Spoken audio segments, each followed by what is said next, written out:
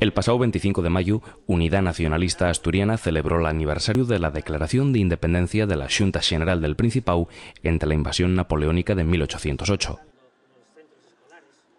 el acto faló el historiador y representante de una, Faustino Zapico. Bueno, pues el 25 de mayo, de, bueno, tal día como hoy, lo que se conmemora, ya que hay 201 años, el Parlamento asturiano de aquella, que era la Junta General del Principado, que se aconsellaba al otro lado de esta puerta, en la sala capitular de la Catedral de Ubieu, declaró la soberanía, declaró que no reconocía como soberano a Giuseppe Bonaparte, declaró la guerra a Francia, declaró la su alianza con Gran Bretaña, mandó embajadores para allá y todo,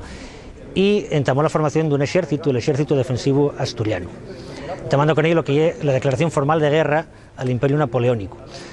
Hay que tener en cuenta que esto facía un país muy chiquitín, un país que no llegaba al medio millón de habitantes, en un momento en que eh, al imperio de Napoleón Bonaparte, digamos que pasaba la mano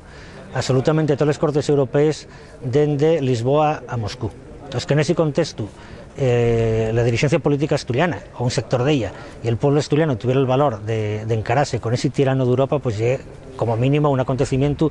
eh, digno de conmemoración y por desgracia estamos viendo cómo pues un año sí y otro también sigue siendo sin ser un episodio que se estudie en ningún manual escolar, está ausente de fecho de, de las escuelas asturianas, está ausente de fecho de las celebraciones institucionales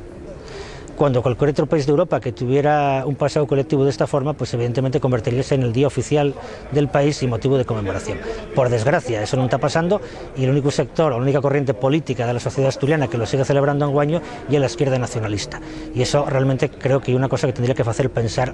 a la clase política asturiana.